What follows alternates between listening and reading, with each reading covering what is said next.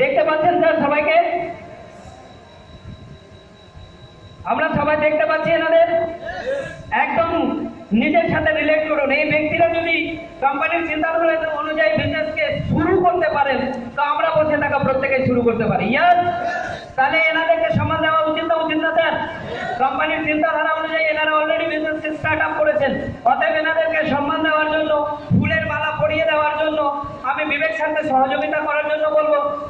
তালেব স্যারকে বলব সবাইকে মালা পরিয়ে